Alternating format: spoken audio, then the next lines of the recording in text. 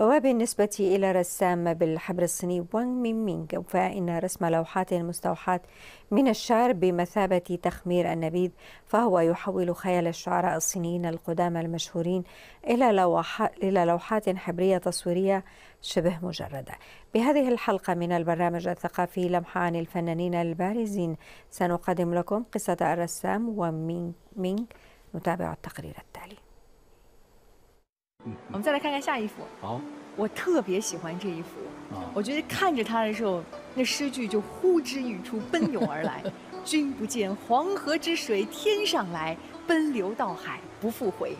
这个呢，就是我这重点要要。أهم شيء عند رسم هذه اللوحة هو إظهار عظمة مياه النهر الأصفر التي تتدلى على الجرف مع وقوف الشاعر الكبير لي باي إلى جانبها والذي يرفع كوب النبيذ تحية لها. ومن أجل عرض المياه المتدفقة التي تسقط من الأعلى ينبغي رسمها باستخدام حبر سميك ليعكس سرعة وقوة المياه. عند بداية تطبيق سياسة الإصلاح والانفتاح في البلاد كان لتقنيات الرسم الغربية تأثير كبير على اللوحات الصينية. زرت فرنسا لمدة عشرة أيام في عام 1983 وشعرت بصدمة كبيرة حين شاهدت الكثير من اللوحات المعروضة في المتاحف سألني عديد من الأصدقاء بعد عودتي من فرنسا ما رأيك في فرنسا؟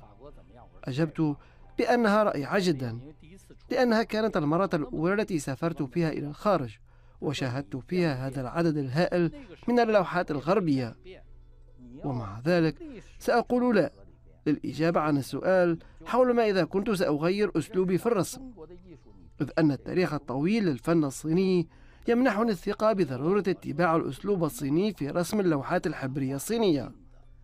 سألني الكثير من أصدقائي أيضا كيف أتمكن من رسم لوحات يسودها شعور الهدوء والسكون وأنا مشغول للغاية كل يوم. قلت لهم إني أندمج في هذا العالم الصاخب عبر العمل. لكن لوحاتي تساعدني وغيري على الخروج منه وإرجاع الهدوء إلى النفس. لذلك في الواقع أن الوقت الحقيقي الذي أمضيته في الرسم قليل جدا. وفي معظم الأوقات أعيش حياة لا علاقة لها بالرسم. في عام 2006 رسمت 20 لوحة وبعد ذلك توقفت. وبعد عام 2015 تصفحت لوحاتي تلك وقررت مواصلة الرسم. وفي غالبية الأوقات قبل ذلك تركت الرسم وخلال الفترة ما بين عامي 2017 و 2019 أكملت إبداعي. سألني الكثير من الناس لماذا لم أكملها في وقت أقصر. في الواقع يمكنني إنجاز ذلك إذ وضعت خطة.